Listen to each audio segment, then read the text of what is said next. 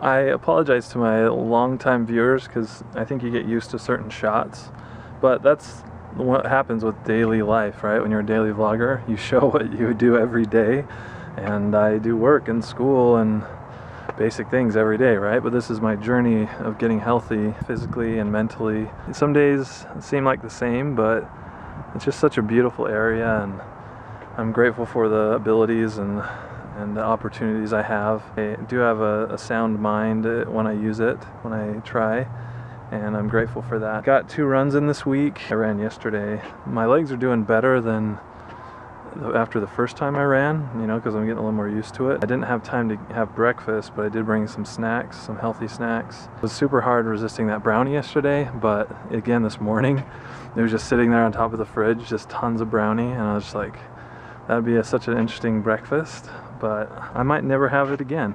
Although I am gonna make paleo brownies tonight, and we'll see how that is. It's like with almond butter and something called ghee. I need to find out what that is. They should be good, hopefully.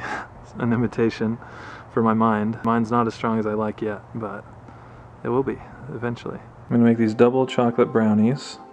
Um, this is the ingredients here. Now I'm having this, and I'm also using agave nectar instead of honey. Not using the Enjoy Life chocolate chips. Everything else is paleo, and I'm gonna have some brownies. You can sort of see everything in here. There's some salt right there, baking powder, soda, the chocolate, banana, eggs, vanilla, and then the almond butter below. I found that you don't really need to mix things in separately. It's just for ease that all ends up the same. So I just put it all in one bowl. It's only a half too, which is probably good for me because I shouldn't have a ton anyways.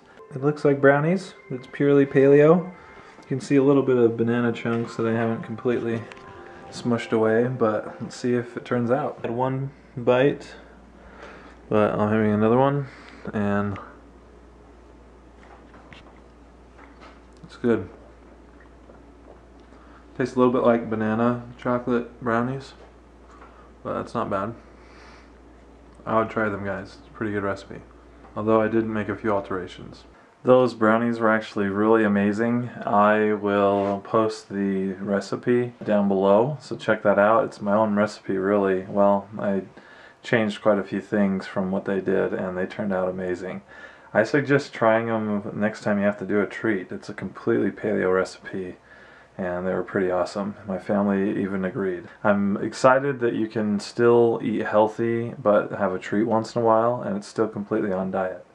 I'm still not e eating a ton of it because it did have a lot of agave nectar which is still sugar. Sugar to your body at least if, if a healthy sugar but it was good. This next week's going to be the the beginning of the next phase and I'm excited. What does it mean to you to become super? I'd like to hear it. But have a great night. We'll see ya.